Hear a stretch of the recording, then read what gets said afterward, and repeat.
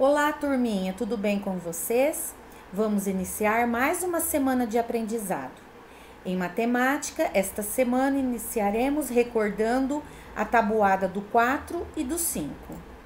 Em língua portuguesa, o texto informativo Dia da Bandeira e a interpretação. Em matemática, adição com reagrupamento. Em língua portuguesa, a leitura raiozinho de sol e interpretação. Em língua portuguesa, ortografia do R, S, X e Z. Em ciências, leiam a música de gotinha em gotinha e faça a interpretação. Em matemática, façam as subtrações.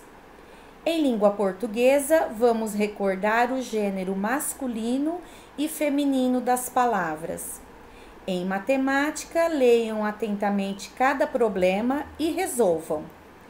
Em língua portuguesa, façam a produção de um texto criativo, obedecendo a pontuação. Não esqueçam de dar um título. Hoje vou ler para vocês Um Dia Chuvoso.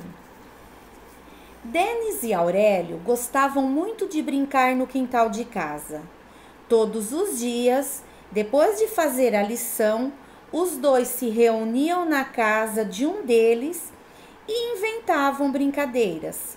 Andavam de bicicleta, construíam cabanas, montavam carrinho com sucatas e entre outras coisas. É bom poder aproveitar os dias de sol e ficar se divertindo aqui fora, não é mesmo? disse Denis. Concordo, amigo.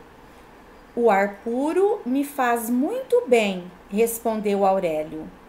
Porém, ao se reunirem em uma destas tardes, os amigos não puderam aproveitar, aproveitar o quintal, pois estava caindo uma chuva muito forte.